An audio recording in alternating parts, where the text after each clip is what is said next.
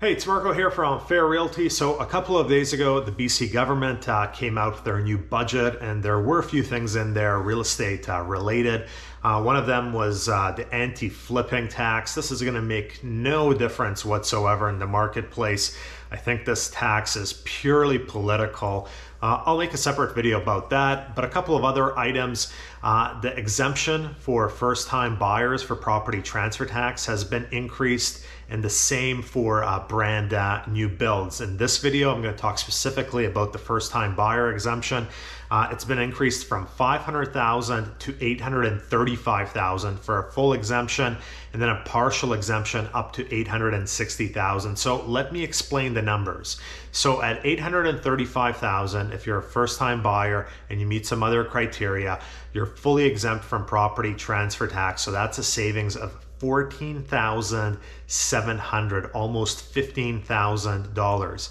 At 860,000, uh, there is no exemption whatsoever at that amount, even if you're a first time buyer, assuming it's not a brand new build, it's a resale, a real estate product, you would be paying 15,000 $200 in property transfer tax.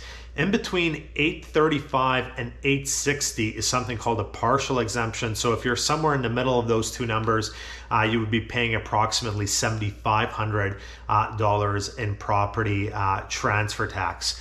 Uh, one of the tips I can give you here, for example, if you're negotiating on a property and you're a first time buyer and you meet the criteria and the seller doesn't want to come down below 840 well you're looking at thousands in property transfer tax what you can do is you can write up the contract as 835 and via an addendum to the contract you'll pay the seller as the buyer an additional $5000 separately for the appliances. That way the seller gets the 840,000 they want and you as the buyer save thousands of dollars uh, by not paying the property transfer tax. Uh, this particular maneuver is perfectly legal as property transfer tax applies to fixtures and property, uh, not appliances, which are something called uh. So if you have a competent real estate agent working for you, uh, there is a way to save some money on property uh, transfer tax once again through legal uh, legal avenues. Uh, what kind of difference is this going to make in the marketplace? It's not going to make a huge difference in the marketplace. It's going to remove some uh, nuances in the marketplace. Uh, or change them. For example, right now I have a condo listed here in Victoria for 530,000 and I've been telling the sellers, "Hey, you know, we haven't had a lot of showings.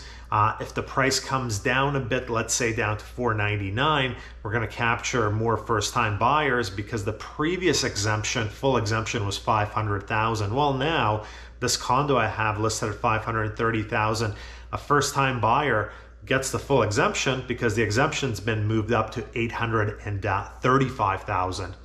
Uh, some other small nuances. I think it's going to make it a little more difficult for people upgrading from a condo to a townhome because if someone has a $400,000 condo and they're selling that $400,000 condo to buy an $800,000 townhome, now they're competing with a few more first time buyers who might be looking at those $800,000 townhomes because they're saving almost $15,000 in property transfer tax.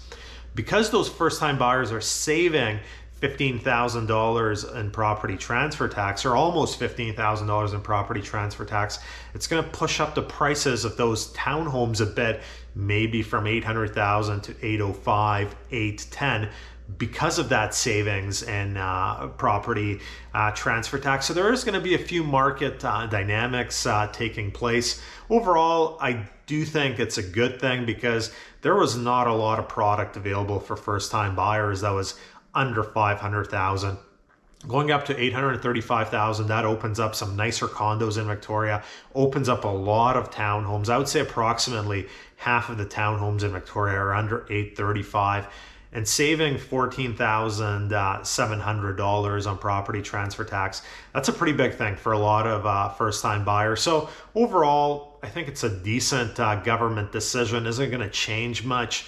No, it's not going to change much in the marketplace, and it's actually going to increase prices uh, of those townhomes a bit.